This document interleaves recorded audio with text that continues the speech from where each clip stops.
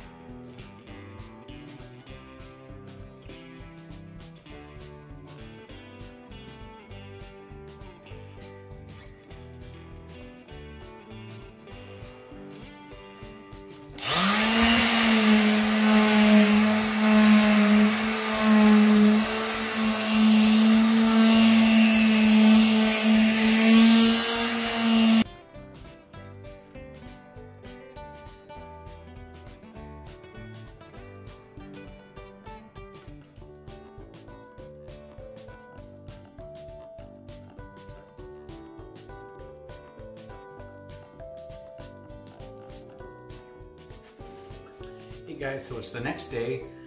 we went ahead and we have uh, scraped off any of the uh, residual caulking that was left on the countertop from the backsplash being attached and from the sink being attached as well.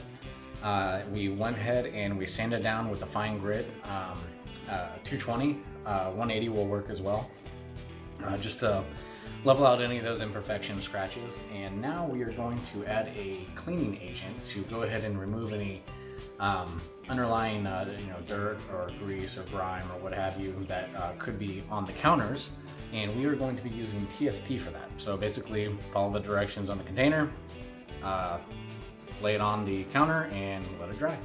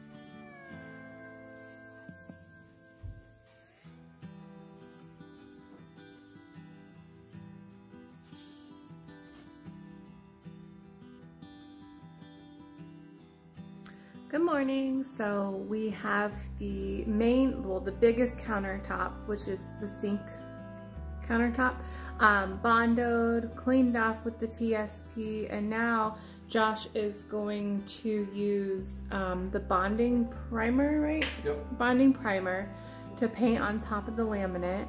You have to have this in order for the paint to adhere to the laminate since it's such a smooth finish. Um, so yeah, we'll see what it looks like. And you only have to do just a like It's a thin coat. a really thin coat of this. and uh, basically this is going to help the epoxy bond um, and after this dries we'll put on one coat of the base paint which is going to be black and And it's the Behr two in one, right? yeah it's the Behr 2-in-1 paint and primer um, so we'll do that we'll let the first coat dry we'll sand it down with a fine uh, fine grit 220 and put on the second base coat. Let that dry. And then we'll be ready to do our epoxy. Which honestly, a little scary. Um, I've heard that epoxy, like, you've got to work pretty quickly with it. This has a 45 minute work time. Oh, so okay, Yeah. we'll have 45 minutes to hopefully get it Basically just trowel laid out, out, troweled out, and then you've got to take like a brush and um, chop it. chop it, chop, chop it. Yeah, because it uh, doing the chopping, basically, so you use a trowel. Um, if you've ever laid tile, it's pretty much a tile throughout uh, the trowel. Um, and you want to chop it out basically to remove the trowel marks. So you'll chop it out, and then what it'll do is uh, remove the trowel marks, settle, and then we got to go over it with a torch. And that is to get rid of any bubbles, um, help with the drying process, and uh, make it like a glass finish. So we got to do two coats of the epoxy. One is the color additive coat, so that's where we'll basically, well, not just color, but um, like design additive, right? So that's where we'll have the mica chips, Mm-hmm. the crushed pearl. crushed pearl, and I think glitter too. Yeah, yeah, silver, silver and black glitter. Yeah, so the end result is to make it look like black quartz, which Yep. is really shiny, sparkly, Yep. nice looking. That's our end goal. And it's called like Black Galaxy. Black Galaxy quartz countertop. Looks super cool. probably one of the easiest designs, which is good. Hopefully. As this Hopefully. is our very first time ever doing it.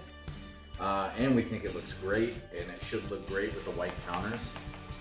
So we're pretty excited to see if it works out for us. We hope it does work. Because if not, we'll, you know, as I mentioned, we'll basically be paying a few thousand dollars to get the same exact look, but in real quartz. That's not ideal. We really don't want to have to do that. right, which is why we decided to try this route. Um, To repurpose. Yeah, repurpose, save some money. Cost us about 500 bucks for the whole epoxy kit and everything. So, if we can get pretty nice looking counters for 500 bucks and it's And they're heat It's- resistant. too. yeah, they're they're not uh, porous. It won't soak in. They're heat resistant. If we scratch them up, um, you literally can resand them, mix up a little bit of epoxy, and correct it. So Super forgiving. yeah. Uh, but that being said, there is a cure time on this stuff. So once the epoxy is laid, you want to give it at least three days before you start using it. Which for me, y'all know how I am with some of y'all, means do not touch for like a month. Because if I could find a way to scratch it, um, put some sort of indentation in it, I'll do it. Don't worry. Yeah. Yeah. she will do that. I can't help it. Well, Well, all right. So we're gonna finish up the primer on this, and then once it's dry, we'll come back and show you guys the um, base coat for the black paint. yep. All right. All right, guys, the uh, primer's on. It's dried. Now it's time to add the base color, um, and you want to use a pretty decent quality paint and primer in one. We went with the Behr. It's what uh, is recommended by the epoxy company, so we went with that. Um, and yeah, time to roll it out.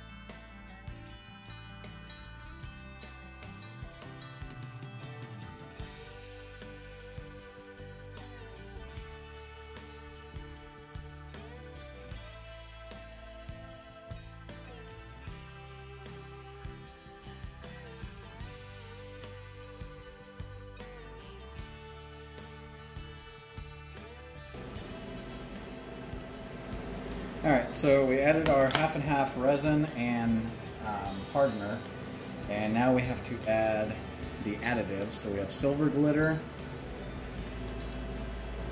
black glitter, crushed pearl mica, and silver side mica flakes.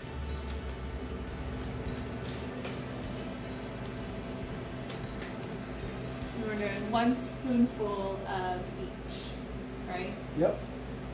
Per quart. One spoonful per quart each.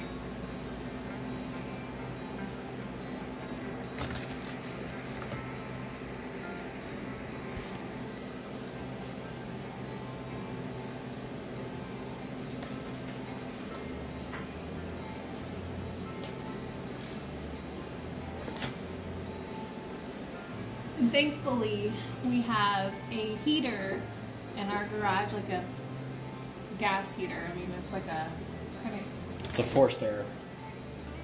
So we have a heated garage, so we're able to do this out in the garage versus having to put uh, rosin paper all over the floor in the dining room or kitchen and do this in there. And we don't have to worry about the smell or gunner, gunner hair getting in there or anything like that. Ooh, that's good. Yeah, so once we add everything to the mix, we uh, just use a paddle mixer and a drill for two minutes and mix it up. And then we have about a 45 minute working time and then we'll have to just trowel it all out.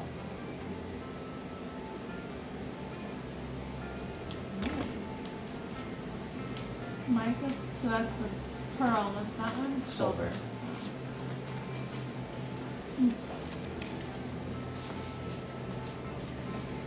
Got the timer, two minutes.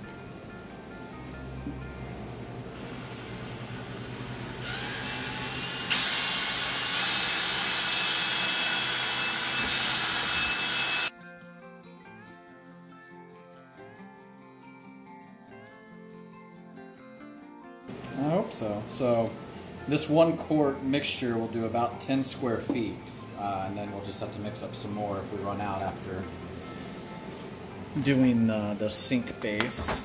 Well, the sink L actually, but yeah.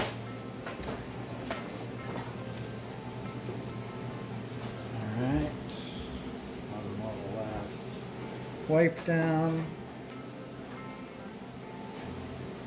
Trowel please. And here's the moment of truth.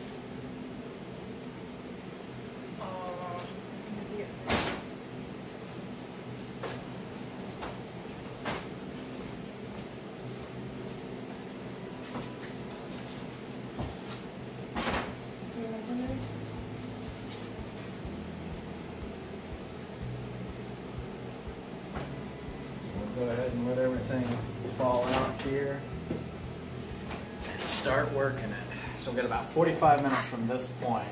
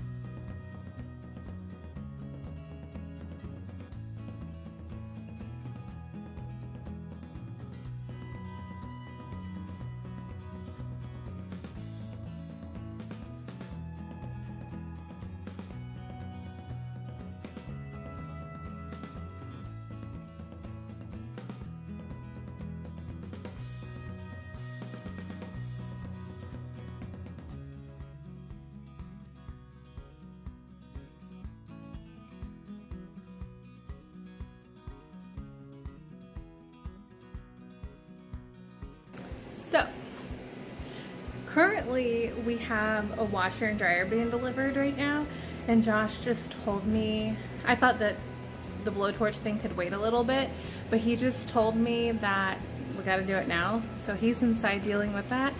Guess what I get to do? Alright, how does this work?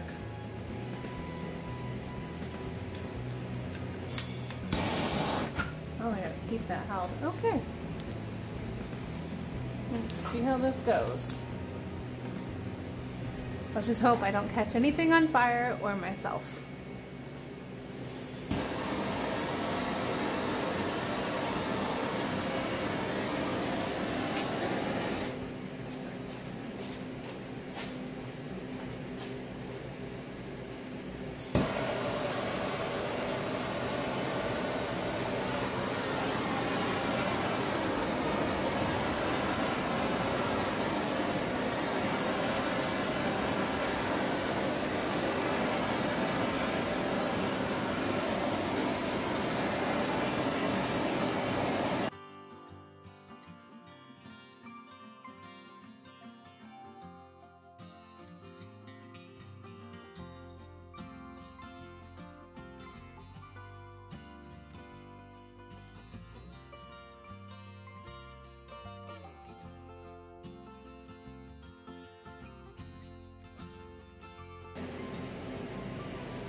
All right, so now if you look at it that we, I, ugh. now if you look to see where the blowtorch went over, it's not as cloudy looking, um, and it's a lot more shiny.